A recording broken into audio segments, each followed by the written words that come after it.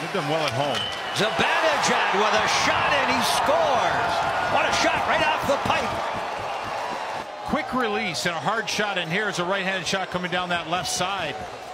He sets up and picks his spot. He also uses Tim Berni as a screen there. Impressive shot. Looked like it went through Berni's legs, and that causes a, a late pickup for Merzlikins.